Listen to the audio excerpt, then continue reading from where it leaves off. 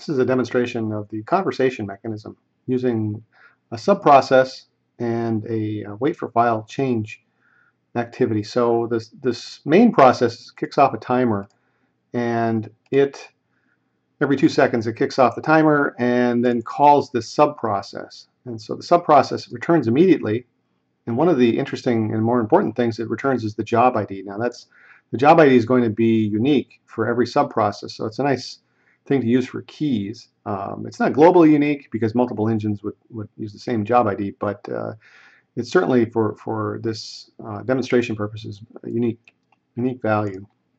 Also, I use a, uh, a random number to simulate that it's doing something. Now, this could have been you know, going out to a database or uh, calling some other uh, mechanism that's going to take from three to seven seconds.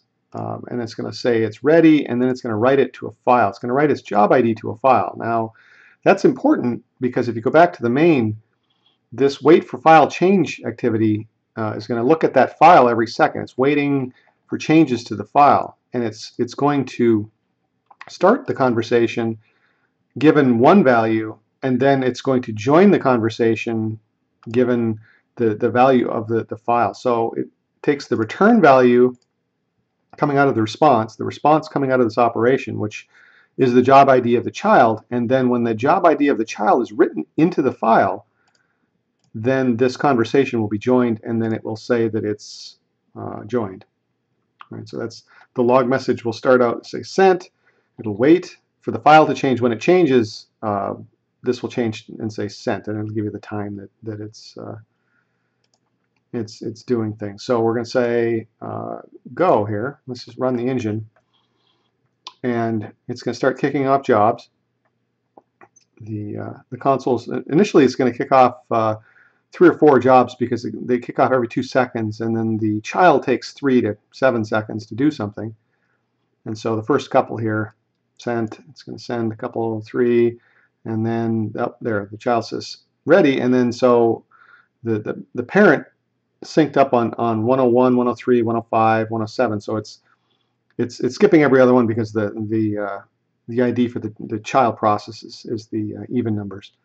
And so it's it's sending off a response, and now it's into a, somewhat of a rhythm, although because it's a random number, uh, one or two jobs will probably be, be kicked off.